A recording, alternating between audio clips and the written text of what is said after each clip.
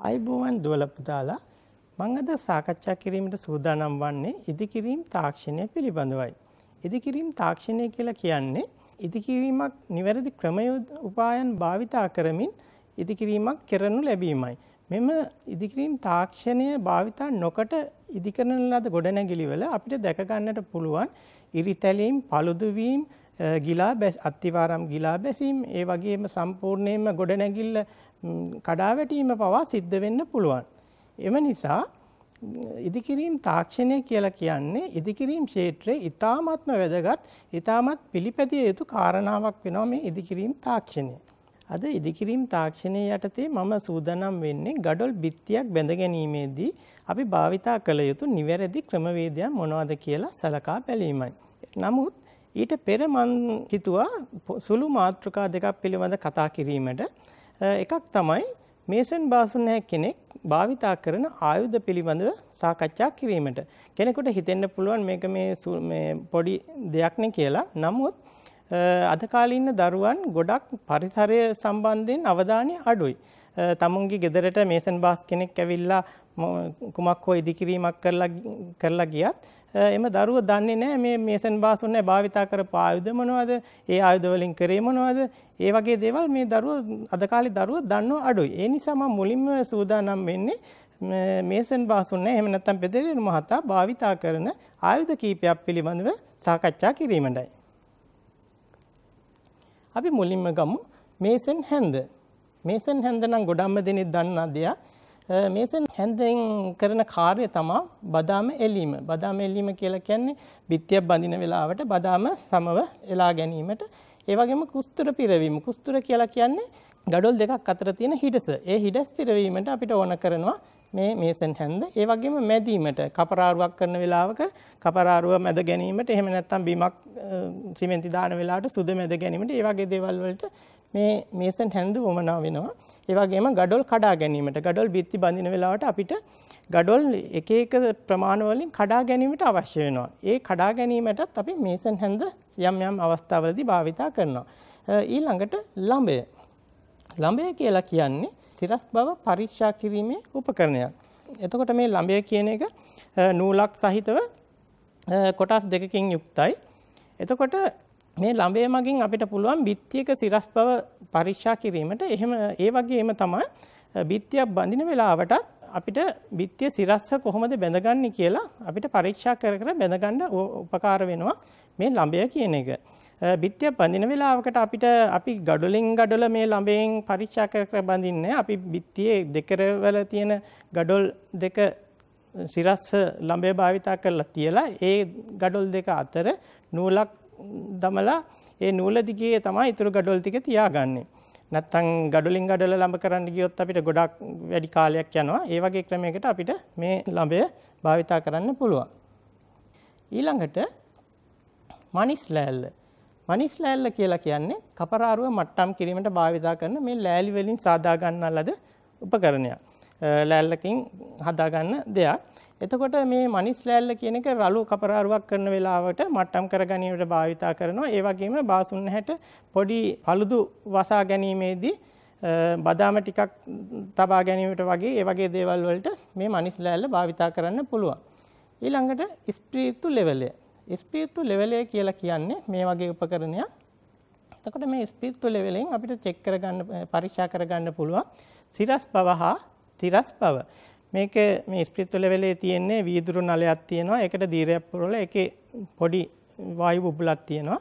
ඒ වගේ වීදුරු නල දෙකක් තියෙනවා ලම්බකෝ පිහිටලා තියෙන කෝදුව වගේ එකේ. ඒකෙන් අපිට පුළුවන් සිරස් අවස්ථාව තා සිරස් අවස්ථාව පරීක්ෂා කරලා බලන්න.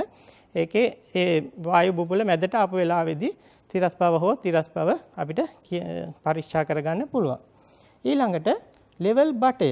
ලෙවල් බටය කියලා කියන්නේ තිරස් බව පරීක්ෂා කිරීමේට භාවිතා කරන දෙයක්. ලෙවල් බටය කියන්නේ මේක අවර්ණ දිග බටයක්. මේ බටය විතරක් ගත්තා කියලා අපිට මේ උපකරණය හදාගන්න බෑ. මේ බටේට ජලය පුරවා ගන්න ඕන. ජලය පුරවා ගන්න පුරවා ගන්න වෙලාවට ඒට වායු බුබුලු ඇතුළු නොවනසේ ජලය පුරවා ගත යුතුයි. ඊට පස්සේ මේ බටේ අරගෙන අපි දෙකට වරල් දෙක එකට ලං කරලා බැලුවොතින් ඒ දෙකරවලටම ජලය එකම මට්ටමේ පිහිටලා තියෙන්න ඕන. එකම මට්ටමේ පිහිටලා තිබුණ නැති වුණොතින් අපිට කියන්නේ මේ බටේට කොහෙන් හරි වායු බූබලක් ඇතුල් වෙලා තියෙන බව. එහෙමනම් අපි ඒ වායු බූබල තියනවාද කියලා පරීක්ෂා කරලා ඒ වායු බූබල ඉවත් කර ගත යුතුයි. ලෙවල් බටෙන් අපි පරීක්ෂා කරගන්නේ මේ විදිහට බටේ දිග තියෙන තාක්කල් අපිට ලක්ෂ දෙකක් අතර එකම ලෙවල් එකක් එකම තිරස් මට්ටමක් සොයාගන්න පුළුවන්. බටේ දිග තියෙන තුරට. ඊළඟට අපි බලමු ගොඩනැගිලි මුළු මට්ටම. ගොඩනැගිලි මුළු මට්ටම කියලා කියන්නේ මෙන්න මේ වගේ උපකරණයක්. ලී වලින් තමයි මේ උපකරණය හදාගෙන තියෙන්නේ. මේක ගොඩනැගිලි මුළු මට්ටම කියලා කියන්නේ සාමාන්‍ය මුළු මට්ටම නෙමෙයි. අර යකඩෙන් හදලා තියෙන ඔයාලා දැකලා ඇති යකඩෙන් අඩි රූල් පටියක් වගේ තියෙනවා. එක පැත්තකට ඝන යකඩ කෑල්ලක් තියෙනවා. එල් ලකුරක් වගේ දෙයක්. යකඩෙන් හදපු මුළු මට්ටම. ඒ මුළු මට්ටම නෙමෙයි මේක. ඒ මුළු මට්ටම භාවිතා කරන්නේ වඩු කාර්මික මහතා සහ යකඩ වැඩ කරන තැන්වල තමයි මේ එහෙම යකඩ මුළු මට්ටම භාවිතා කරන්නේ. ඒ මුළු මට්ටම නෙමෙයි මේක ගොඩනැගිලි මුළු මට්ටම කියලා කියන්නේ ලී වලින් හදාගත්තු මෙහෙම මේ හැඩයේ තියෙන උපකරණයක්. මේකෙන් කරන්නේ අපිට අංශක 90ක හැරවුමක් ඒ කියන්නේ බිත්තියක් ඇවිල්ලා බිත්ති දෙකක් හැරෙන තැනක එහෙම නැත්නම් T විදිහට සංධියක් වෙන තැනක බිත්තියක එහෙම නැත්නම් අත්තිවාරම අංශක 90කින් හැරෙන තැනක අත්තිවාරම් කාණු කපා ගන්න වෙලාවක අපි මේ අංශක 90 හැරවුමක් කරගන්න තමයි හැරවුමක් මාක් කරගන්න හැරවුමක් ලකුණු කරගන්න තමයි අපිට මේ ගොඩ නැගිලි මුළු මට්ටම කියන එක අවශ්‍ය වෙන්නේ ඊළඟට මට්ටම් ලිය. ඒක නම් ගොඩක් දෙනෙක් දන්න දෙයක්.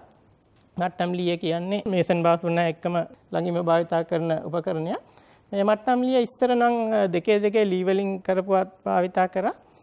දැන් නම් භාවිතා කරන්නේ ඇලුමිනියම් වලින් කරපු මට්ටම් ලී. මට්ටම් ලිය කාර්යය තමයි කපරාරුවක් මට්ටම් කරගන්න පුළුවන්. අපි පොඩි බිත්ති කෑල්ලක් බඳින වෙලාවක දෙපැත්තේ ගඩොල් දෙක නිවැරදිව තියලා ඒ අතර ගඩොල් ටික මට්ටම් ලිය තියලා ඒකට හරියන්න ඒක දිගේ ගඩොල් තියාගන්න වගේ වැඩ කරන්න පුළුවන් මට්ටම් ලීයේ. ඊළඟට අපි බලමු ගඩොල් මිටිය කියන එක. ගඩොල් මිටිය කියලා කියන්නේ මෙන්න මේ වගේ උපකරණයක්. මිටි වර්ග ගොඩක් තියෙනවා. මේ වර්ගයේ මිටියක් තමයි ගඩොල් මිටිය කියලා කියන්නේ. මේ එක පැත්තක සාමාන්‍ය මිටිය තියෙනවා. ඊට පස්සේ මේ එහා පැත්ත උල් හැඩයට තියෙනවා. එතකොට මේකෙන් කරන්නේ ගඩොල් අවශ්‍ය හැඩයට කඩා ගැනීමට. මොකද්ද මේ ගඩොල් අවශ්‍ය හැඩයට කඩා ගැනීම කියලා කියන්නේ. මං ඉස්සෙල්ලත් කිව්වා ගඩොල් බිත්ති බැඳ ගැනීමේදී අපිට නොයෙක් නොයෙක් හැඩතලවලට එහෙම නැත්නම් නොයෙක් ප්‍රමාණවලට අපිට ගඩොල් කඩා ගැනීමට අවශ්‍ය වෙනවා. එතකොට මේ ගඩොල් කඩා ගැනීමට මේ ගඩොල් මිටිය කියන එකෙන් අපිට ලේසියෙන්ම කඩා ගන්න පුළුවන්. ගොඩක් වෙලාවට නම් මේසන් බාසුන් නැල්ල හැන්දෙන් ගහලා තමයි මේ ගඩොල් කඩා ගන්න. ඒ වුණාට ඒක නිවැරදි ක්‍රමයක් නෙවෙයි. හැන්දත් කැඩිලා යන්න පුළුවන් වැඩ. මේ වගේ ගඩොල් මිටිය එහෙම නැත්නම් කපන කටුව ඒ වගේ දේවල් භාවිතා කරන්න පුළුවන් ගඩොල් කඩා ගැනීමට. ඊළඟට කැටමිටිය. කැටමිටිය කියලා කියන්නේ මෙන්න මේ වගේ මිටියක්.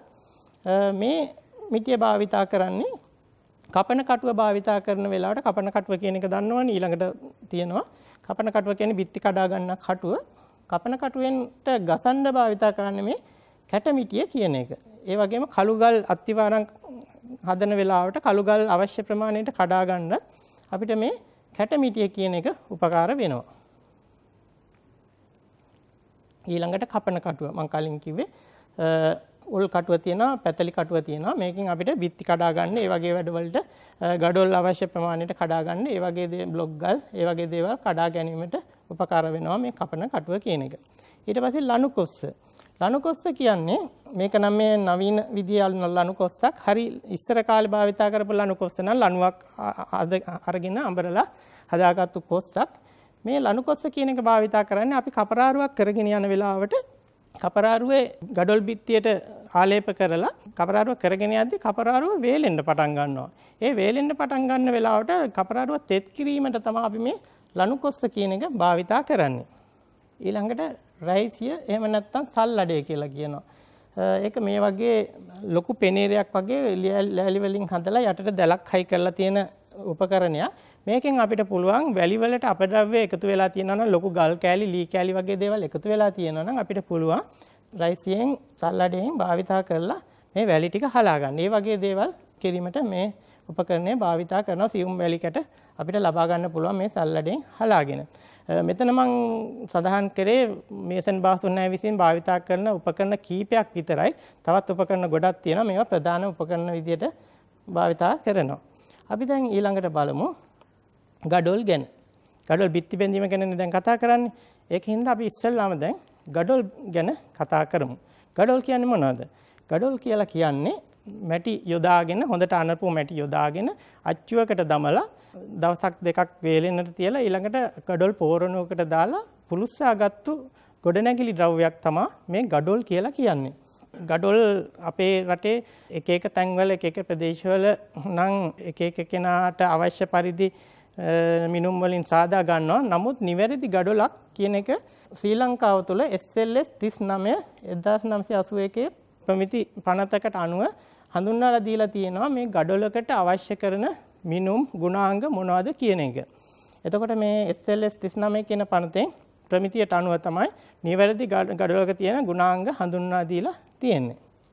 අපිට බාහිර ලක්ෂණ අනුව ගඩොලක හොඳ ගඩොලක් අපිට තීරණය කරන්න පුළුවන්. බාහිර ලක්ෂණය විතරක් නෙමෙයි මේ බාහිර ලක්ෂණ කියන්නේ එක සාධකයක් විතරයි. බාහිර ලක්ෂණ අනුව අපිට හොඳ ගඩොලක් තෝරා ගන්න පුළුවන්. අපි බලමු දැන් බාහිර ලක්ෂණ කීපයක් අනුව හොඳ ගඩොලක් තෝරාගන්නේ කොහොමද කියලා. ඉස්සෙල්ලාම හැඩය. හැඩය අනුව අපිට හොඳ ගඩොලක් තෝරාගන්නේ කොහොමද කියලා බලමු. සමතල මුහුණක් තියෙන්න ඕන. ගඩොලක මුහුණත් හොඳින් සමතල වෙලා පිහිටලා තියෙන්න ඕන. වලවල් තියෙන්න බෑ. ඇද වෙලා තියෙන්න බෑ. එතකොට ඊළඟට දාර තියුණු හා රිජු වෙන්න ඕන. ගඩොලේ තියෙන දාර තියුණුවට ඍජුව පිහිටලා තියෙන්න ඕන. ඒ වගේම paludu රහිත වෙන්න ඕන. දාරවලත් paludu තියෙන්න බෑ, මුහුණත් වලත් paludu තියෙන්න බෑ. විරූපණය නොවි තියෙන්න ඕන. විරූපණය කියන්නේ ඇඹරිලා, ඇද වෙලා, ඒ වගේ වෙලා තියෙන්න බෑ හොඳ ගඩොලක්. ඉරිතලීම් රහිත විය යුතුයි.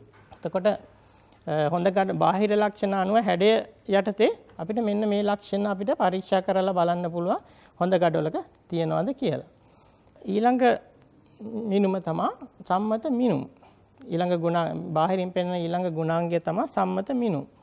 සම්මත ගඩොලක සම්මත මිනුම් අර SLS 39 පනත යත්තේ ශ්‍රී ලංකාව තුළ සම්මත මිනුම වෙන්නේ මේ දිගාතට මිලිමීටර් 215ක් සහ පළල අතට මිලිමීටර් 102.5ක් සහ උස මිලිමීටර් 65ක්. මේක තමා ගඩොලක සම්මත උස වශයෙන් කියලා තියෙන්නේ SLS 39 පනත යටතේ. ඉතින් මේ ගානට මිනුම් වලින් කිට්ටුවෙම තියෙන ගඩොලක් තමා හොඳ ගඩොලක් විදිහට අපිට කියන්න පුළුවන්. ඊළඟට වර්ණය. වර්ණය ගැන සාකච්ඡා කරොත් වර්ණය රතු දුඹුරු පැහැයට හුරු වර්ණයක් ඒකාකාරව ගඩොල පුරා විහිදී තියෙන්න ඕන. මේ මගින් අපිට කියන්න පුළුවන් මේ ගඩොල හොඳින් පිලිස්සලා තියෙනවයි කියන එක. අපි දැන් කතා කරන්නේ බාහිරින් තියෙන ලක්ෂණනේ. අපි ගඩොලක් කැඩුවොත් එහෙම ඒ ගඩොලේ හරස් කඩ පවා ඒකාකාරව රතු දුබුරු පැහැයෙන් විහිදිලා තියෙන්න ඕන. එතකොට තමයි ගඩොල හොඳ ගඩොලක් කියලා හොඳින් පිලිස්සුණු ගඩොලක් කියලා අපිට කියන්න පුළුවන්. ඊළඟට නාදය. නාදය කියලා කියන්නේ ගඩොල් නම් සද්ද කරන්නේ නමුත් හොඳ වර්ගයේ ගඩොල් දෙකක් අරගෙන අපි එකට ගැටුණු ගැට්ටුවොත් එකට එකිනෙක හැප්පුවොත් අපිට ඒ ගඩොලෙන් නිකුත් වෙන්නේ යකඩ දෙකක් හැප්පෙනා වගේ ශබ්දයක්. මෙට්ලික් සවුන්ඩ් කියලා කියනවා. හොඳ ගඩොල් දෙකක් එකට හැප්පුවොත් යකඩ දෙකක් හැප්පෙනා වගේ ශබ්දයක් තමයි අපිට ඇසෙන්නට ලැබෙන්නේ. ඊළඟට ජල අවශෝෂණය. ජල අවශෝෂණය කියන එක නම් අපිට එකපාරම බාහිරින් පේන දෙයක් නෙමෙයි. මේ ජල අවශෝෂණය කියන එක ගුණාංගය කියන්නේ පැය 24ක් අපි ගඩොලක් ජලයේ ගිල්ලලා තිබුණොතින් එම ගඩොල දැන් මැටියෙන් හදලා තියෙන්නේ. මැටියෙන් හදලා තියෙන හින්දා ඒ ගඩොලට ජලය උරා ගන්නවා. එතකොට මේ උරා ගන්නා ජලයේ ප්‍රමාණය ඒ ගඩොලේ වියලි බර වගේ 120කට වඩා අඩු වෙන්න ඕන. එහෙම නැත්නම් බරින් පහෙන් එකකට වඩා අඩු වෙන්න ඕන මේ ගඩොලට උරාගත්තු ජලයේ ප්‍රමාණය. ඒක හොයාගන්නේ මෙහෙමයි. අපි භාජනයකට ජලය පුරවලා ගඩොලක් සම්පූර්ණයෙන්ම ජලය ගිල්ලලා පැය 24ක් තියෙනවා. ආ ඊට කලින් අපි ඒ ජලය ගිල්ලන්න කලින් අපි ඉස්සෙල්ලා වියලි ගඩොලේ බර කිරා ගන්න ඕන. ඒ වියලි ගඩොලේ බර අපි කියමු W කියලා. ඊට පස්සේ ඒ විදිහට බර කිරාගෙන ඊට පස්සේ තමයි ගඩොල ජලය භාජනයකට දාන්නේ. ජලය භාජනයකට දාලා පැය 24ක් ගිල්ලලා තියෙනවා. එහෙම පැය 24ක් ගිල්ලලා තිබුණාම ගඩොලට යම්කිසි ප්‍රමාණයක් ජලය උරා ගන්නවා. ඊට පස්සේ අපි තෙත ගඩොල කිරනවා. තෙත ගඩොල කිරුවාම අපිට W1 කියලා ප්‍රමාණ බරක් ආවනම් ඊට පස්සේ අපි මේ W1කින් W වියලි ගඩොලේ බර අඩු කරාම අපිට එනවා මේ ගඩොලට උරාගෙන තියෙන ජලය ප්‍රමාණය.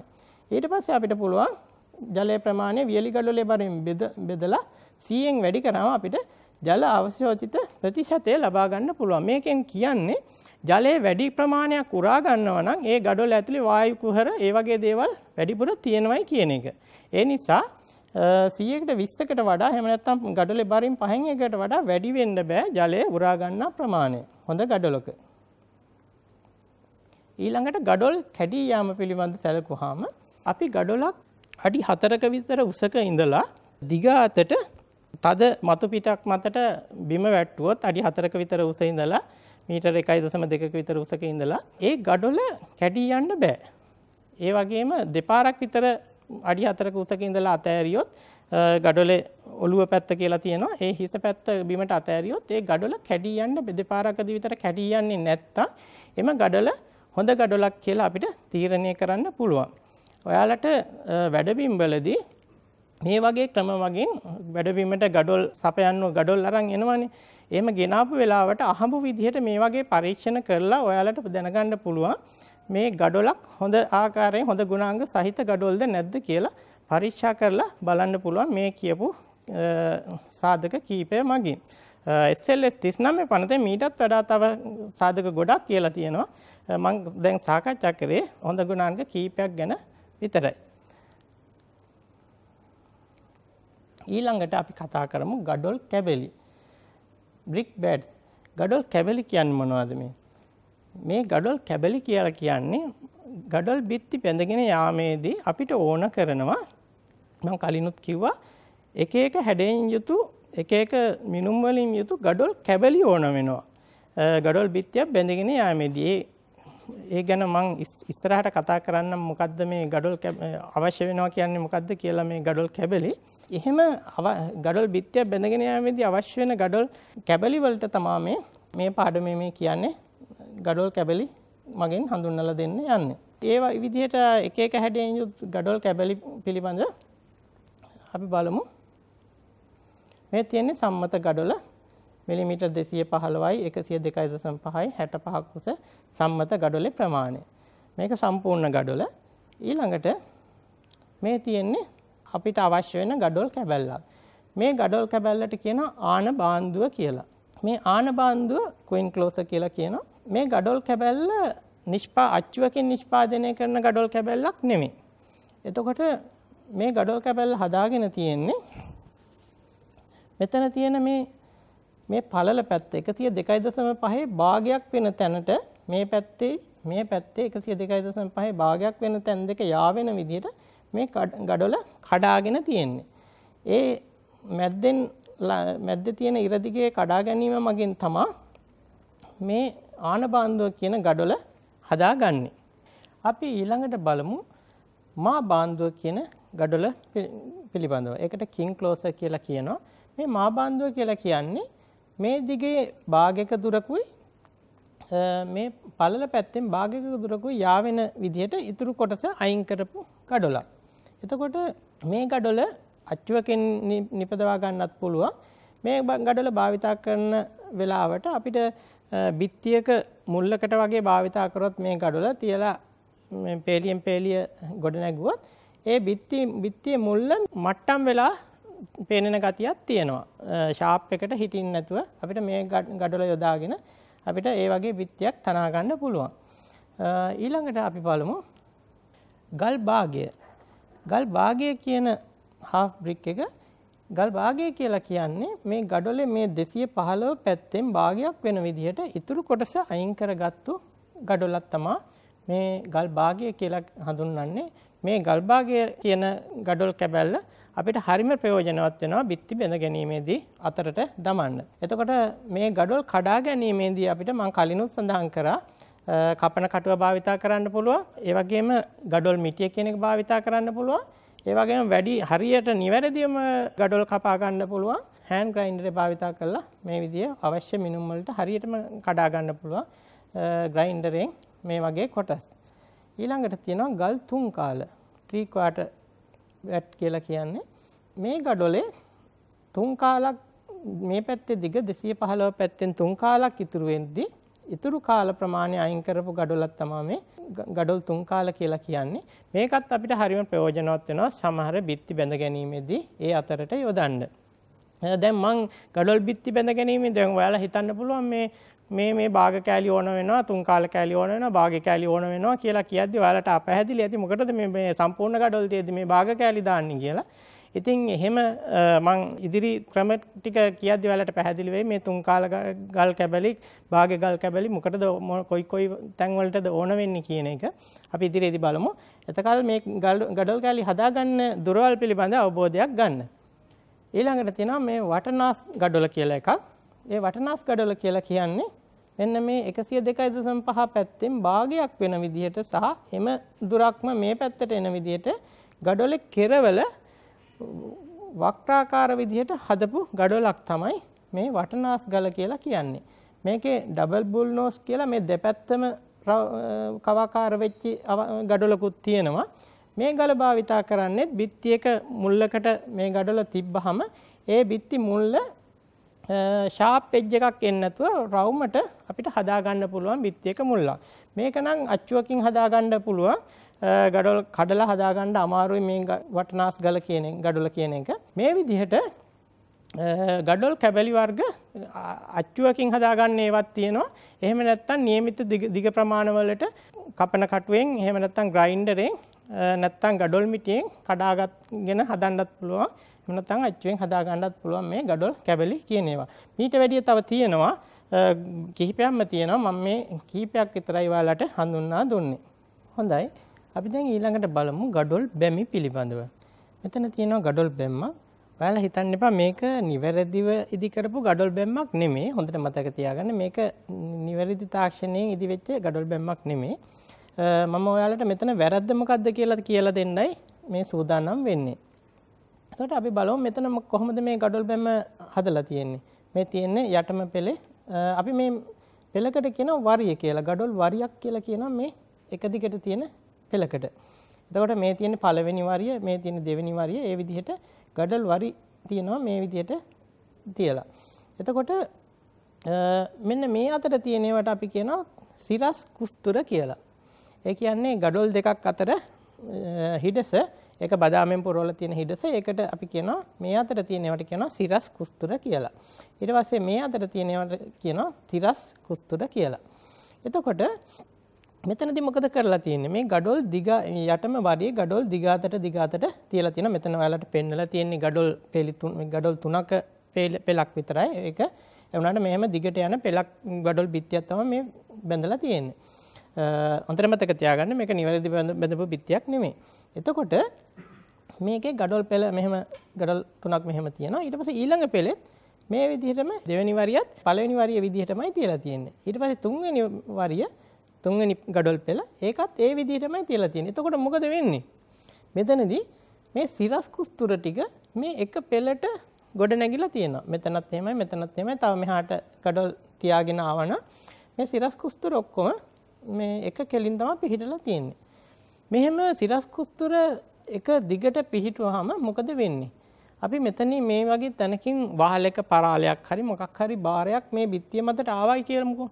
එහෙම ආපු ගමන් මොකද වෙන්නේ මේ සිරස් කුස්තුර දිගේ මෙතනින් පුපුරන්න පටන් ගන්නවා. ඉරිතැලීම් සිද්ධ වෙනවා මේ සිරස් කුස්තුර දිගේ. මෙතනට බාරයක් ආවන මෙතනින් ඉරිතැලීමක් වෙන්න පුළුවන්.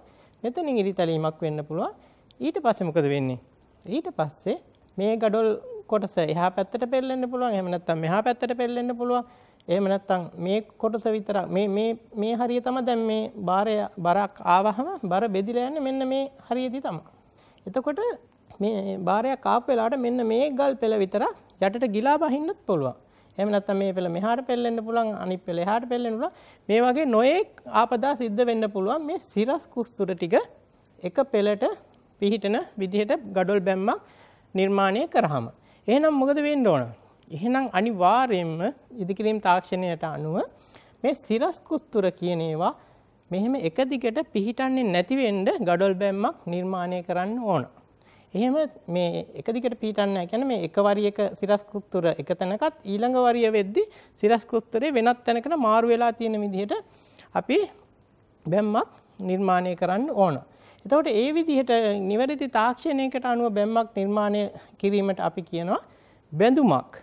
නිවැරදි ආකාරයට සිරස් කුස්තුර වෙනස් වෙනස් තැන්වලින් පිහිටන විදිහට ගඩොල් බැම්මක් නිර්මාණය කිරීම. අපි බලමු මේ විදිහට නිවැරදි විදිහට ගඩොල් බැඳුමක් හදලා තියෙන්නේ කොහොමද කියලා. නිවැරදි බැඳුමක වෙන්නේ මේ සිරස් කුස්තුර මේ මේ බැඳුම දිහා බලන්න මේ බැම්ම දිහා මේක මොකද්ද වෙලා තියෙන්නේ? මේක මේ සිරස් කුස්තුර මේ මේ තියෙන සිරස් කුස්තුර මේ තියෙන තිරස් කුස්තුර. මේක මේ සිරස් කුස්තුර මෙතන සිරස් කුස්තුරේ නෙමෙයි ඊළඟ වරියේ සිරස් කුස්තුරේ මෙතන තියෙන්නේ. ඊළඟ සිරස් කුස්තුරේ මෙතන තියෙන්නේ. ඒ විදිහට හැම තැනම මාරු වෙලා සිරස් කුස්තුර තියෙන්නේ නේ. එතකොට හොඳ බැඳුමක් කියලා කියන්නේ පෙලක් එක පෙලක සිරස් කුස්තුර මාරු වෙන විදිහට අනික් පෙලේ සිරස් කුස්තුර පිහිටන විදිහට නිවැරදි ක්‍රමවේදයකට ගඩොල් තැබීම තමයි ගඩොල් බැඳුමක් කියලා කියන්නේ.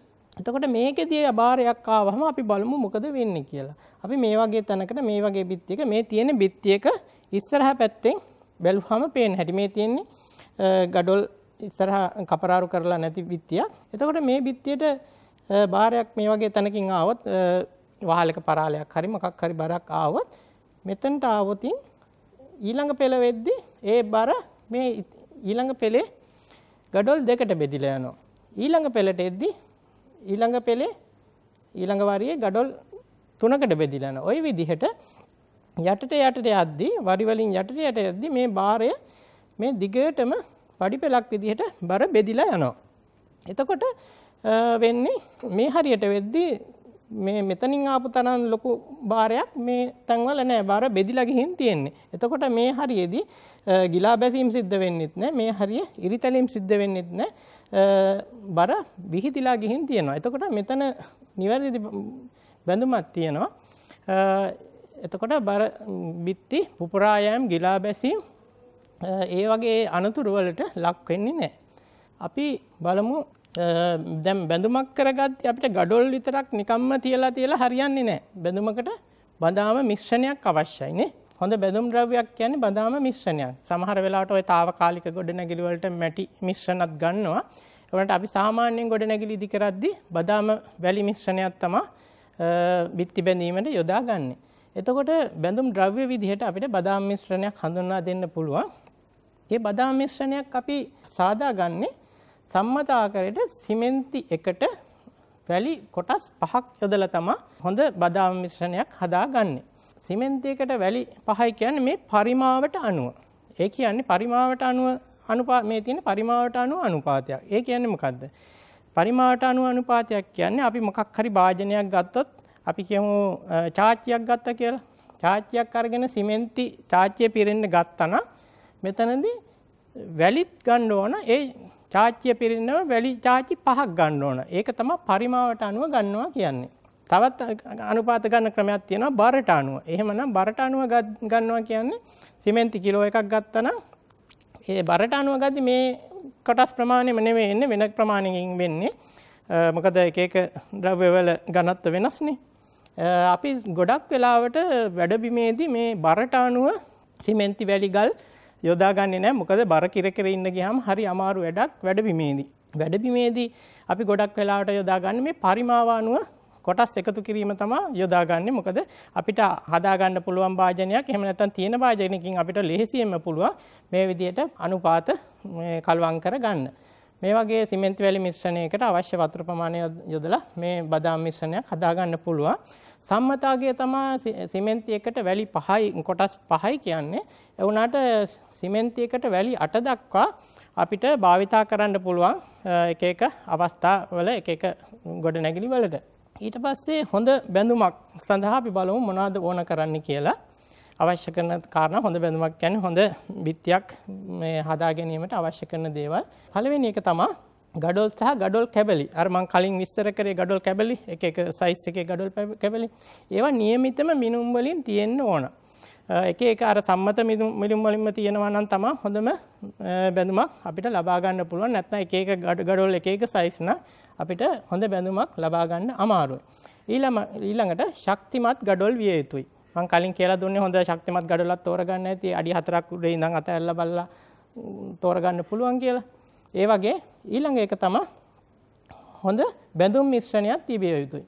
ඒ කිව්වේ මේ සිමෙන්ති බදාම මිශ්‍රණය හොඳ මිශ්‍රණයක් වෙන්න ඕන. මේකේ සිමෙන්ති ප්‍රමාණයට වඩා වැලි වැඩි කරගෙන වැඩි කරගෙන ගියොත් මොකද වෙන්නේ මේ බන්ධනය දුර්වල වෙනවා. එහෙම සිමෙන්ති ප්‍රමාණයට වඩා වැලි වැඩිපුර ගිහිල්ලා දුර්වල බන්ධනයකින් බැන්දොත් බඳින බිත්තියක් ලේසියෙන් කැඩෙන්න පිපිරීමට ලක් වෙන්න පුළුවන්. ඒකින්ද හොඳ බැඳුමකට හොඳ බිත්තියක් සඳහා හොඳ බැඳුම් මිශ්‍රණයකුත් තියෙන්න ඕන. ඊළඟට සිරස් හා තිරස් කුස්තුර ඒකාකාර ඝනකමකින් විය යුතුයි. තිරස් කුස්තුර මම දැන් කිව්වා මෙහාට තියෙන ඒවා තමයි තිරස් කුස්තුර. සිරස් කුස්තුර කියන්නේ මේ අතර තියෙන කුස්තුර. එතකොට ඒ දේවල් නියමිත ඝනකමකින් තියෙන්න ඕන. ඒකාකාර ඝනකමකින් තියෙන්න ඕන. තිරස් කුස්තුර වල ඝනකම නම් ඒක රඳා පවතින්නේ පෙදරේරු මහත්මාගේ නිපුණතාව අනුව. මොකද අපි ගඩොල් බැම්මන් නිර්මාණය කරන වෙලාවට පෙදරේරු මහත්මාගේ හැන්දෙන් තමා ඒ තිරස් කුස්තුරයට අවශ්‍ය කරන බදාම ඝනකම යොදාගෙන යන්නේ. ඒක හින්දා පෙදරේරු මහත්මාගේ නිපුණතාව අනුව තමයි තිරස් කුස්තුරේ ප්‍රමාණය සහ ඝනකම තීරණය වෙන්නේ. ඊළඟට සිරස් කුස්තුරයට නම් එහෙම නිපුණතාවක් අවශ්‍ය වෙන්නේ නැහැ. ගොඩක් වෙලාවට අපි ගඩොලක් අල්ලන්නේ මේ වගේ ඇඟිලි තුනකින් තමයි ගඩොලක් අල්ලන්නේ. ගඩොල මෙහෙම අල්ලලා ඇඟිලි තුනකින් අල්ලලා එහෙම තියද්දි අපේ මේ මේ ඇඟිල්ලේ තියෙන ඝනකම ඊළඟ ගඩොලේ වදින්න තිබ්බහම අපිට පුළුවන් සිරස් කුස්තුරයට ඕන කරන දිග ප්‍රමාණ හිඩසේ ප්‍රමාණය ආසන්න විදිහට තියාගන්න. සාමාන්‍යයෙන් මේ කුස්තුරයක ආසන්න දිග ප්‍රමාණය තමයි මිලිමීටර් 10ක් කියන්නේ. සිරස් සහ තිරස් කුස්තරය සාමාන්‍ය බිත්තියක මිලිමීටර් 10ක ප්‍රමාණයට ආසන්න විදිහින් ඒක අඩි රූලකින් මැන මැන තියන්නේ මිලිමීටර් 10 කිය කිය. අපි ආසන්න විදියට ඒක මේසන් බාසොන්නගේ නිපුණතාව අනුව සහ මේ අපේ අතේ ඇඟිල්ලක ප්‍රමාණයෙන් තිරස් කුස්තරයට ඉඩ ප්‍රමාණය මෙහෙම ගඩොල තියෙන වෙලාවෙදිම ඊළඟ ගඩොලට හැප්පෙන්න තිබ්බම ඒ මිලිමීටර් 10ක ප්‍රමාණයක් අපිට පුළුවන් සිරස් කුස්තරයේ ඉඩ විදිහට තබා ගන්න. ඊට පස්සේ නිවැරදිව ළඹ විය යුතුයි. මං කලින් කිව්ව ළඹ ළඹේ උපකාරයෙන් හැම වරියකම ගඩොල් නිවැරදිව සිරස්ව තියෙන්න ඕන. ඒ විදිහට නිර්මාණය කරපු බැම්මක් අපිට හොඳ බැඳුමක් හොඳ බිත්තියක් විදිහට සලකන්න පුළුවන්. ඊළඟට අපි බලමු මේ ගඩොලේ පැති. පැතිවලට එක එක නම් සඳහන් කරනවා. අපි මේ ඉස්සර මේ පැත්ත මේ ගඩොලේ මෙන්න මේ මුහුණත අපි කියනවා බඩගල බඩ පැත්ත කියලා කියනවා ස්ට්‍රෙචර් සයිඩ් කියලා කියනවා මේ ගඩොල මෙන්න මේ පැත්තට ස්ට්‍රෙචර් සයිඩ් කියලා කියනවා. අපි ගඩොල මෙන්න මේ පැත්ත මේ පැත්තට අපි කියනවා හෙඩර් සයිඩ් ඔළුව පැත්ත ගඩොල ඔළුව පැත්ත කියලා කියනවා. මේ ගඩොලේ උඩ පැත්ත උඩ පැත්තට අපි කියනවා ඇතුරුම් පැත්ත බෙඩ් සයිඩ් කියලා කියනවා. ඒ විදිහට පැති තුනට නම් තුනක් තියෙනවා ගඩොලේ නම් කරලා. අපිට හඳුනා ගැනීමේ පහසුවට. ඊට පස්සේ අර නිවැරදි ක්‍රමවේදයන් අනුව නිවැරදි තාක්ෂණයට අනුව බැමි බැඳීමේ ප්‍රධාන ක්‍රම හතරක් තියෙනවා. මේ ප්‍රධානම ක්‍රම හතර තමා එකක් තමා බඩගල් බැම්ම. දෙවෙනි එක ඔලුගල් බැම්ම. තුන්වෙනි එක ඉංග්‍රීසි බැම්ම. ඊළඟ එක ප්ලෙමිෂ් බැම්ම. මේ ක්‍රම හතර තමා ප්‍රධානම ක්‍රම හතර තවත් ඊට සම්බන්ධ වෙනත් ක්‍රම වගේක් තියෙනවා මේ ඉංග්‍රීසි බැම්මේ ප්ලෙමිෂ් බැම්මේ තව වෙන ක්‍රම වගේක් තියෙනවා. උනාට ප්‍රධානම භාවිතා කරන ක්‍රම හතර තම බැමි වර්ග හතර තමයි මේ කියන්නේ. අපි බලමු දැන් ඊළඟට එකින් එක බැම්මේ කොහොමද වෙන්නේ කියලා.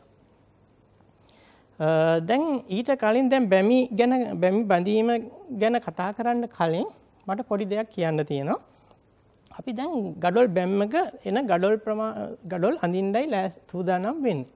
එතකොට මේ ගඩොල් බැම්මක ගඩොල් අඳින්න පෙර පොඩි දෙයක් කියන්න තියෙනවා. දැන් අපේ සම්මත ගඩොලේ ප්‍රමාණය තමයි මේ තියෙන්නේ.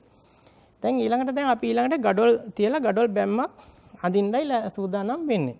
අපි මේ ගඩොල් බැම්ම අඳිද්දී අපි හරියට අඳිනවා නම් මේ ගඩොල් බැම්මේ සිරස් කුස්තුරතා තිරස් කුස්තුර මිලිමීටර් 10ක ප්‍රමාණයෙන් ඝනකමට ඇඳිය යුතුයි. එහෙම නැත්නම් මේ බැම්මේ දිග වෙනස් වෙනවානේ. එවුනාට අපි පැන්සලකින් හරි පෑනකින් හරි ගඩොල් බැම්මක් අඳින වෙලාවක අපිට මේ මිලිමීටර් 10 වාසියත් එක්ක අඳින එක අමාරු වැඩක්. ඒක හින්දා අපි ගඩොල් බැමි අඳින වෙලාවට අපි මනං කල්පිත ගඩොලක් හිතා ගන්නවා. ඒ මෙහෙමයි. අපි ගඩොල් බැමි අඳින වෙලාවට විතරක් මේ ගඩොලේ බදාම වාසියත් එක්ක දිග පළල හිතා ගන්නවා. ඒ කියන්නේ මේ තියෙන සම්මත ගඩොලේ දිග පළල උසවලට ඒ කුස්තුලවල ප්‍රමාණය වන මිලිමීටර් 10ක ප්‍රමාණයක් එකතු කරලා ගත්තු ගඩොලක ප්‍රමාණයකින් තමයි අපි මේ ගඩොල් බැමි අඳින්න ගන්න. එතකොට අපිට බදාම වාසිය කුස්තුර වාසිය අපිට වෙනමම මිලිමීටර් 10කින් පෙන්වන්න ඕනේ. අපිට තනි ලයින් එකකින් යන්දාම මේ පැත්තට මිලිමීටර් 5යි මේ පැත්තට මිලිමීටර් 5යි එනවා කියලා හිතාගෙන මිලිමීටර් 10ක වාසියක් එකතු කරලා තියෙන මේ බලන්න දිග මෙතන දිග 215ක් වෙනවා. මෙතන දිග මේ මනං කල්පිත ගඩොලේ අපි බැමි බැඳීමට යොදා ගන්න සූදානම් වෙන ගඩොලේ දිග 225යි කියලා මිලිමීටර් 225යි කියලා යොදාගෙන තියෙනවා. මෙතන උස්ස මිලිමීටර් 65යි. මෙතන මිලිමීටර් 75ක් විදියට යොදාගෙන තියෙනවා මිලිමීටර් 10ක් එකතු කරලා. අතනත් ඒ විදිහටම මිලිමීටර් 10ක වාසියක් එකතු කරලා තියෙනවා. මේ ගඩොලෙන් තමා අපි කොයි බැම්ම බැන්දත් මෙන්න මේ දිග ප්‍රමාණ තියෙන ගඩොලෙන් තමා බැමිවලට ගඩොල් අඳින්නේ. අපි අඳිද්දි. එතකොට සමහර විට දැන් ගඩොලේ මේ පැත්තට බදාම වාසියක් තියෙන්න පුළුවන් යට පැත්තට බදාම වාසියක් තියෙන්න පුළුවන් හැබැයි මේ දෙපැත්තෙන් බදාම වාසි නොතියෙන්න පුළුවන් අපි අඳින බැම්මේ ඒත් දෙපැත්තේ බදාම වාසි තිබුණ නැතත් අපි මේ මිලිමීටර් 10 එකතු කරලා තමයි අපි මේ බැඳුම් අඳින්නේ ඒක ක්‍රමයක් මේකයි මේ කියලා තියෙන්නේ. ඇතැම් විට කුස්තර නැති පැතිවල තිබුණත් මෙම වාසිය සමග අපි බැම්ම අඳිනවා. අපි ඊළඟ කොටස බලමු. එතකොට ඔයාලට තේරෙයි මොකද්ද මේ කිව්වේ කියලා. බඩගල් බැම්ම පිළිබඳ විස්තර කරන්න යන්නේ. මේ බඩගල් බැම්ම කියලා කියන්නේ අර මං කලින් කිව්වා ගඩොලේ බඩ පැත්ත කියලා තියෙනවා ඔළුව පැත්ත කියලා තියෙනවා ඇතුරුම් පැත්ත කියලා තියෙනවා. ඒකේ බඩ පැත්ත පේන විදිහට බඩ පැත්ත ඉස්සරහට පේන විදිහට අඳින ගඩොල තමයි අඳින බැම්ම තමයි මේ බඩගල් බැම්ම කියලා අපි නම් කරන්නේ. මේ බඩගල් බැම්මට ගඩොල් බාගෙ බැම්ම අඟල් හතරහමාරි බැම්ම මිලිමීටර් එකසිය දොළහයි දසම් පහය බැම්ම ඒ වගේ නං වලින් හඳුන්වනවා මේ බඩගල් බැම්ම කියන එක. අපි බලමු මේ ත්‍රිමාන සටහනක් මම ඔයාලට දීලා තියෙනවා. මේ ගඩොල් බැම්ම ගැන විස්තර කිරීමට පමණක් නෙමෙයි. මේක ඉදිකිරීම ක්ෂේත්‍රයේදී ඕන වෙන දෙයක් මේ එක එක පැතිවලින් පෙනුමට කියන නන් ටික ඒකින්ද එක එක පැතිවලින් පේන පෙනුමට කියන නන් ටික අපි මේකෙන් හඳුනගමු. අපි ඕනම දෙක මේ ගඩොල් බැම්ම විතරක් නෙමෙයි ඕනම දෙක උඩින් බැලුවම පෙනෙන view එකට අපි කියනවා plan view එක කියලා. උඩින් උඩ අපි මොකක් හරි දෙයක් උඩ ඉඳලා බැලුවම පේන පේනුමට plan view කියලා තමයි කියන්නේ. ඊට පස්සේ පැත්තට ගිහින් බැලුවොත් පේන විදිහට අපි කියනවා side elevation පැති පෙනුම කියලා කියනවා පැත්තෙන් පේන විදිය. ඊට පස්සේ අපි මොකක් හරි දෙයක් ඉස්සරහා පැත්තෙන් බැලුවම ඉස්සරහට පේන විදිහට ඒකට කියනවා front elevation කියලා ඉදිරි පෙනුම කියලා කියනවා. අපි මොකක් හරි දෙයක් ඉදිරියෙන්ම ගිහින් බැලුවම පේන විදිහට. මේක ඔයාලට මේ පැති අඳුන ගැනීමට යොදා ගන්න පුළුවන් ගඩොල් බැම්ම විතරක් නෙමෙයි ඕනම නිවසක ගොඩ නැගිල්ලක හරි මොකක හරි පැති වලින් බැලුවම පේන්නේ කොහොමද කියන එක මේ නම් වලින් තමයි හඳුන්වන්නේ. අපි දැන් ඊළඟට බලමු බඩගල් බැම්මේ ඉදිරි පෙනුම පිළිබඳව. මම ඉස්සෙල්ලා පැති වලින් ඉදිරි පෙනුම පැති පෙනුම උඩු පෙනුම ගැන කතා කරා. අපි දැන් එතන ඉදිරි පෙනුම කොහොමද කියලා බලමු. මේ තියෙන්නේ ෆ්‍රන්ට් එලිවේෂන් එකක් ඉදිරි බඩගල් බැම්මේ ඉදිරි පෙනුමක්. මේ බඩගල් බැම්මේ බලන්න මේ ගඩොල් වල බඩ පැත්ත තමයි මේ බැම්මේ හැම ගඩොලකින්ම පේන්නේ. ඉදිරියට පේන්නේ බඩ පැත්ත. එතකොට මේ බැම්ම නිර්මාණය කරලා තියෙන්නේ කොහොමද බලන්න. මේ පළමු වරියේ බඩ පැත්ත ගඩොලේ බඩ පැත්ත පේන පරිදි මේ ගඩොල් පෙළක් තියලා තියෙනවා මේ පළමු වරිය. ඊට පස්සේ දෙවෙනි වරිය. අපි හිතමු දෙවෙනි වරියටත් මේ වගේම පෙළක් තිබ්බා කියලා. දෙවෙනි වරියටත් මේ වගේම පෙළක් තිබ්බනම් මොකද වෙන්නේ? එතනදී එහෙනම් මේ මෙන්න මේ සිරස් කුස්තුරේ ගාවට උඩ පෙළෙත් සිරස් කුස්තුරේ එනවා. එන්න ඒ වැරද්ද මගහරවා ගන්න මොකද කරලා තියෙන්නේ? ඒක තමයි මෙතන භාවිතා කරලා තියෙන තාක්ෂණික ක්‍රමවේදය.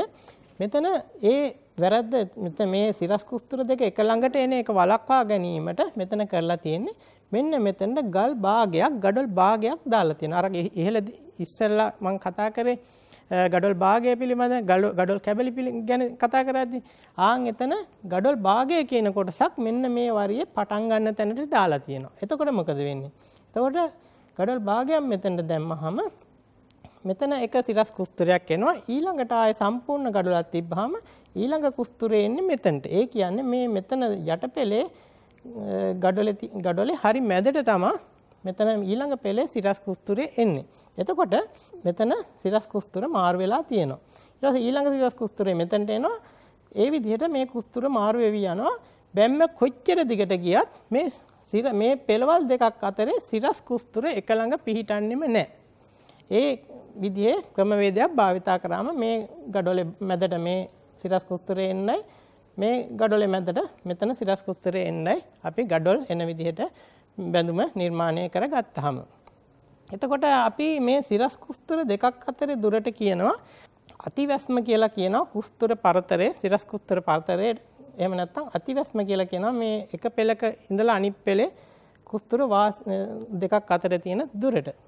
ඒ විදිහටයි මේ බඩගල් බැම්ම නිර්මාණය කරගන්න. ඊළඟට අපි බලමු මේ බඩගල් බැම්මේ ගල්වරි පේන විදිය ඉහලින් පේන විදිය. මේ තියෙන්නේ බඩගල් බැම්මක වරියක් ඉහලින් පේන විදිය. හැබැයි මේ වරි දෙකක් මං ඇඳලා තියෙනවා. හැබැයි එක බැම්මක් ගත්තාම මේ වරි දෙකම පේන්නේ නැහැ. මේ තියෙන්නේ වරි එක වරියක් අර එක වරියක් එන විදිය මේ පේලි දෙකකට ඇඳලා තියෙන්නේ. නැත්තම් එක බැම්මක් දිහා අපි මෙහෙම උඩින් බැලුවයි කියලා මේ විදිහේ වරි දෙකක්ම පේන්නේ මොකක් හරි එක පේලියක් තමයි උඩින් බැලුවම පේන්නේ. අර මාරුවෙන්ම මම කලින් කිව්වත් දැන් මෙතන වෙලා තියෙන්නේ මේ පළමු වරිය වගේ වරියක් තමයි ඊළඟට ඊළඟ වරිය වෙන්නේ මේ. දැක්කද? සම්පූර්ණ ගඩොලකින් පටන් අරගෙන මේ ඒ පෙළ යන්නේ. ඊළඟ වරියේදී තියෙන්නේ මෙන්න මේ වගේ වරියක් තමයි ඊළඟ පෙළේ යන්නේ. මේකේ මොකද වෙලා තියෙන්නේ? එකම විදිහේ මේ වර්ග දෙකක වරි දෙකක් මාරුවෙන් මාරුවට තමයි ගිහින් තියෙන්නේ. දැන් මේ විදිහේ වරියක් පළවෙනි පෙළට තියෙනවා ඊළඟට දෙවෙනි වරිය තුන්වෙනි වරියට තියෙනවා ඊළඟට පස්වෙනි වරියට තියෙනවා. ඊට පස්සේ මේ වගේ පෙළක් දෙවෙනි වරියට තියෙනවා හතරවෙනි වරියට තියෙනවා හයවෙනි වරියට දෙනවා. එතකොට වර්ග දෙකකින් යුතු වරි දෙකක් මාරුවෙන් මාරුවට ඇවිල්ලා තමයි මේ බැම්ම නිර්මාණය වෙලා තියෙන්නේ. එතකොට මේ ඊළඟට මම අර උඩු පෙනුම කියලා පෙන්වුවේ මෙන්න මේ පෙළ උඩින් පේන විදිහයි මෙන්න මේ දෙවෙනි වරිය උඩින් පේන විදිහයි තමයි මම අර ඊළඟ රූප සටහනේ පෙන්වුවේ. මේ තියෙන්නේ මේ තියෙන්නේ දෙවෙනි වරිය හතරවෙනි වරිය හයවෙනි වරිය ඉහළින් පේන විදිය. මේ තියෙන්නේ ගඩොල් භාගයකින් පටන් අරගෙන තියෙනවා ඊට පස්සේ සම්පූර්ණ ගඩොල ගානේ යනවා. එතකොට මේකේ මේ පැත්ත තමයි 225 පැත්ත මේ පැත්ත අර බදාම වාසියත් එක්ක 225 පැත්ත මේක මේ තියෙන්නේ 112.5 පැත්ත. මේකේ අර 75 උස පැත්ත පේන්නේ ඉහළින් බැලුවම අපිට 75 කියන උස පැත්ත පේන්නේ පළල පැත්තයි දිග පැත්තයි විතරයි පේන්නේ ඉහළින් බැලුපු දර්ශනයේදී. මේ තියෙන ඊළඟ පෙළ අර පළමු වරිය තුන්වෙනි වරිය පස්වෙනි වරියට එන විදිහට තමයි මේ පෙළ තියෙන්නේ. මේ විදිහේ වරි වලින් තමයි මේ 1 3 5 වගේ ඔත්තේ වරි ඔක්කොම සමමිත වෙන්නේ මේ විදිහට. ඊළඟට අපි බලමු බඩගල් බැම්මෙන් බිත්ති මුල්ලක් හදා ගන්න හැටි. අපි කොයි කොයි විදිහට හදාගත්තත් මේ කුස්තුර මාරුවෙන් මාරුවට පිහිටන විදිහට අපි නිර්මාණය කරගන්න ඕන. අපි ඒක නිවැරදි විදිහට නිර්මාණය මේ වරි දෙකේ වරි දෙකේ කුස්තර නිවැරදි විදිහට යොදාගත්තේ නැත්නම් අපි එක තැනකදී කොහෙන් හරි මේ පේලි දෙකේ වරි දෙකේ සිරස් කුස්තර එක තැනකදී යාවෙන්න පටන් ගන්නවා. ඒක නිසා අපි නිවැරදිව මේ දිගේ භාගයකට ඊළඟ පෙළේ කුස්තුරේ එන විදිහට තමයි අපි මේ වරි නිර්මාණය කරගන්න ඕන. මේකේ මේ කුස්තුර මාරු වෙන විදිහට මේතනින් සම්පූර්ණ කාලෙ මෙතනට එනකල් ඇවිල්ලා තියෙනවා. අනික් වරියේ ඒ ගඩොල එතනටම එන විදිහට අරගෙන නැහැ නේ. එතකොට මෙතන තියෙන ජොයින්ට් එක මෙතන නෑ මෙතන තියෙන ජොයින්ට් එක මෙතන නෑ. එතකොට සිරස් කුස්තුර වරි දෙකෙන් දෙකට මාරු වෙවි තමයි යන්නේ. මේ විදිහට තමයි බඩගල් බැම්මෙන් බිත්ති මුල්ලකට ගල් තියාගන්නේ පෙරවල් දෙකේ. ඊළඟට අපි බලමු T ආකාර සංදියක්. මේ තියෙන්නේ බඩගල් බැම්මෙන් T ආකාර සංදියක් එක බිත්තියක ඉඳන් තවත් ජොයින්ට් එක මේ බිත්තියක් ඇවිල්ලා යා වෙන තැන. එතකොට මෙතනදී මේ විදිහට සම්බන්ධ වෙලා තියෙනවා එක පෙළක මේ ගඩොල් පේලි අනිකෙදි මේ විදිහට සම්බන්ධ කරලා තියෙනවා.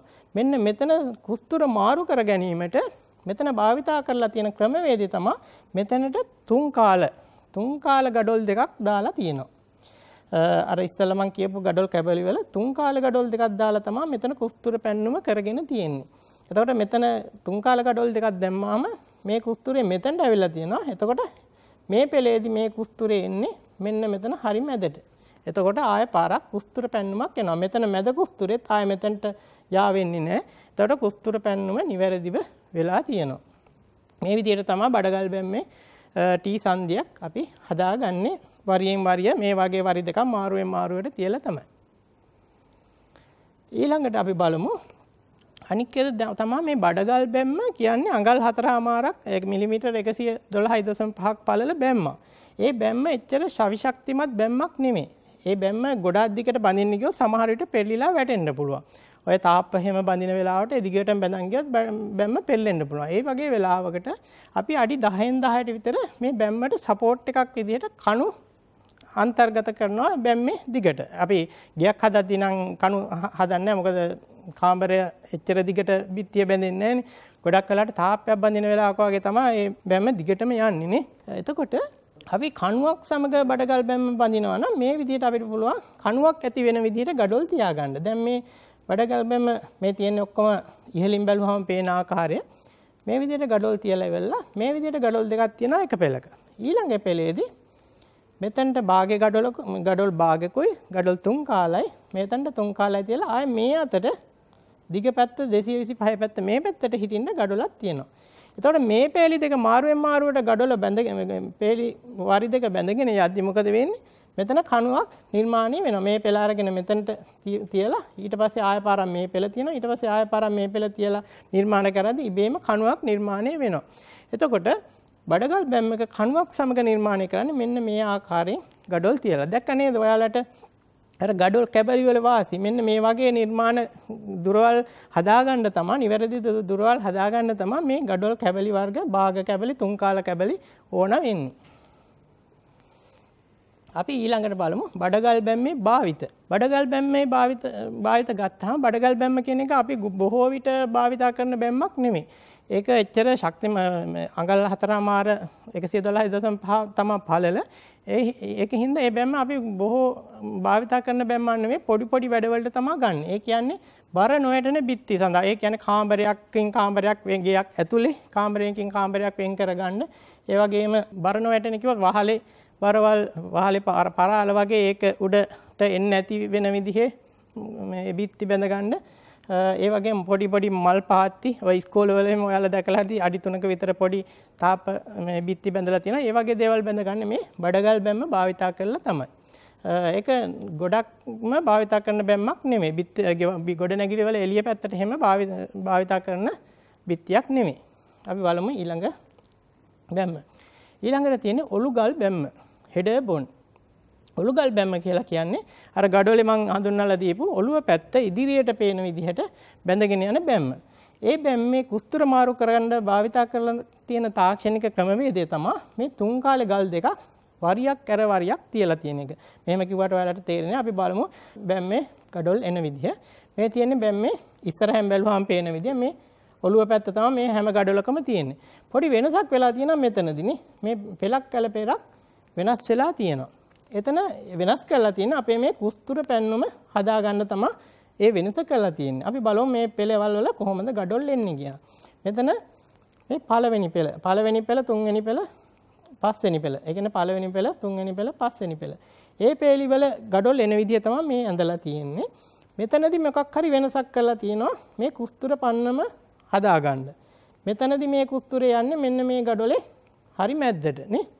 එතකොට මෙතන කුස්තුර පැන්නුම හදාගන්න මෙතෙන්ට තුන් කාලේ ගඩොල් දෙකක් තමා මේ දාලා තියෙන්නේ. තුන් කාලේ ගඩොල් දෙකක් මේ දිගාතට දාලා දැම්මහම මොකද වෙන්නේ? මෙන්න මේ ගඩොලේ මැද්දට මේ කුස්තුරේ සිරස් කුස්තුරේ එන්න පටන් ගන්නවා. මේ මේ සිරස් කුස්තුරේ මේ ගඩොල් දෙකේ මේ ගඩොලේ මැද්දට එන්න පටන් ගන්නවා. ඒ විදිහට එන්න පටන් ගන්න තමා මෙතෙන්ට තුන් කාලේ ගල් දෙකක් දාලා මේ පෙලක් මේ විදිහට හදාගෙන තියෙනවා. අනික් පෙල මේ විදිහට හදාගෙන තියෙනවා. ගොඩාක් හැම බැඳුමකම හැම බිත්ති බැඳුමකම තියෙන්නේ එකම වර්ග දෙකකින් යුතු වරි දෙකක් මාරුවෙන් මාරුවට එන දේ තමයි හැම බැඳුමකම තියෙන්නේ. දැන් මේකේ තියෙන්නේ මේ පෙළවල් දෙක මාරුවෙන් මාරුවට තියලා බිත්තිය බැඳ ගන්න එක තමයි. අපි බලමු ඔලුගල් බැමේ භාවිත. ඔළුගල් බැම්ම ගොඩක් වෙලාට භාවිතා කරන්නේ කවාකාර ඉදිකිරීම සඳහා. ලිං ටොයිලට් වලවල් ඒ වගේ කවාකාර බිත්ති බැඳ ගැනීමට තමා මේ ඔළුගල් බැම්ම අපි ගොඩක් වෙලාට යොදාගන්න මොකද පොඩි පරතරයකින් තම ඔලු ඔළුව පැත්තන ඉදිරියට තියෙන ඒක හින්දා අපිට ලේසියෙන් කවාකාර හැඩයක් ගන්න ලේසි. ඒක හින්දා ගොඩක් වෙලාවට මේ කවාකාර ඉදිකිරීම කරගන්න තමයි මේ ඔළුගල් බැම භාවිත කරන්නේ ලින්වැනි දේවල් අත්තිවාරම් වල යටටම දාන්නත් යොදා ගන්නවා යටටම අතුරන්නත් යොදා ගන්නවා මේ ඔළුගල් බැම්ම. ඒ වගේම ආරුක්කු ආච් කියලා තියෙන ගෙවල් වල ඒ ආරුක්කු වලට යොදා ගන්නත් අපි මේ ඔළුගල් බැම්ම යොදා ගන්නවා. අපි ඊළඟට කතා කරමු ඉංග්ලිෂ් බොන් එහෙම නැත්නම් ඉංග්‍රීසි බැඳුම ඉංග්‍රීසි බැම්ම. එතකොට ඉංග්‍රීසි බැම්ම කියන්නේ මෙන්න මේ වගේ බැම්ම. එතකොට මේ බැම්මේ වෙලා තියෙන්නේ මේ පැම් දැන් ඔයාලට තේරෙනවා මේ පේලි දෙක මෙහෙමයි එන්නේ මේ තියෙන්නේ මේ යටම පෙළේ එන විදිය තමයි මේ තියෙන්නේ මෙතනින් ඊට පස්සේ මේ තියෙන්නේ ඊළඟ පෙළේ ගඩොල් ඇවිල්ලා තියෙන විදිය. මෙතන මේ අඳුරු කරලා තියෙන්නේ ආනබාන්දු කොටසක්. ඔයාලට මම මුලින්ම හඳුන්වලා දීපු විදිහේ ආනබාන්දු කොටසක් තමයි මේ පෙළට දාලා තියෙන්නේ. ඒ කුස්තුර මාරු කර ගැනීමට. දැන් බලන්න මේ පෙළේදී මෙතනදී මේ සිරස් කුස්තුරේ එන්නේ මෙතනට. මේ ආනබාන්දුව හින්දා තමයි මේ මෙතනට මෙතනට සිරස් කුස්තුරේ එන්නේ නේ. එතකොට මේ ආනබාන්දුව මගින් තමයි මේ කුස්තුර පැන්නුම හදාගෙන තියෙන්නේ. අර ගඩොල් කැබලි වල ආනබාන්දුව ඕන වෙනවා මේ ඉංග්‍රීසි ඉංග්‍රීසි බැම්ම නිර්මාණය කිරීමේදී එක වරියක් නිර්මාණය කර ගැනීමට. මේ අපි බැම්ම එක තැනකට විතරයි දාන්න. ඊට පස්සේ බැම්ම මේ කුස්තුර පැනුම ඉබේම හැදිලා එනවා. මේක කොච්චර මීටර් 100ක් දිගට බැන්දත් මේ කුස්තුර පැන්නුම හැදෙනවා මුලටම මේ වගේ ආනබාන්දු කොටසක් යොදා ගැනීමෙන්. අපි ඊළඟට බලමු. ඉංග්‍රීසි බැම්මේ භාවිත මේ ඉංග්‍රීසි බැම්ම තමා ශක්තිමත්ම බැම්ම.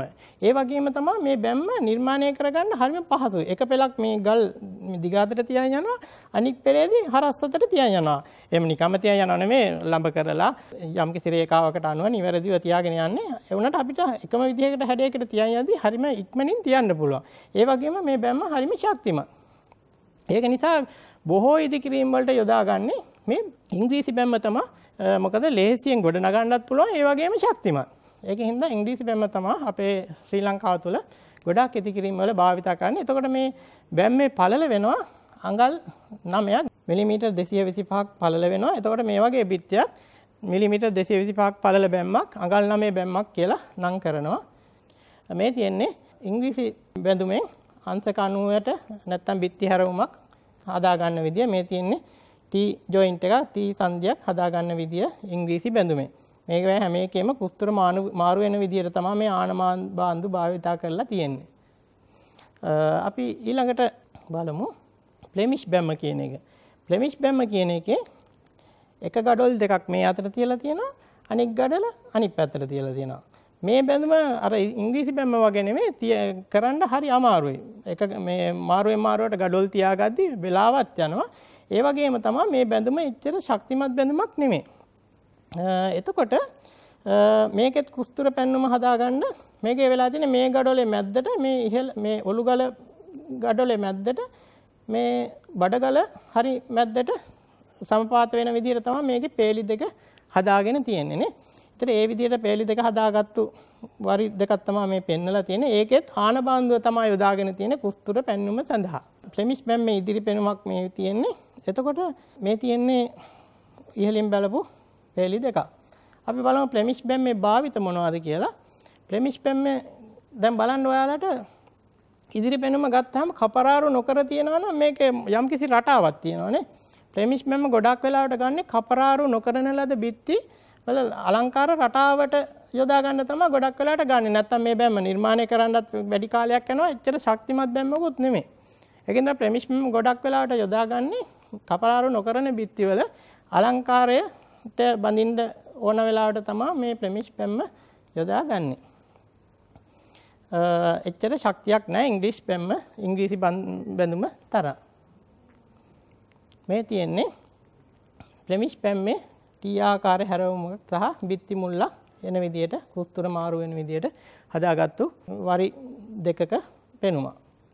හොඳයි දුවල පුතාලා අද අපි ඉදිකිරීම් තාක්ෂණය යටතේ ගඩොල් බැමි කොහොමද නිවැරදිව නිර්මාණය කරගන්නේ කියලා ගඩොල් බැමි ප්‍රධාන ගඩොල් බැමි හතරක් පිළිබඳව අපි සාකච්ඡා කරා.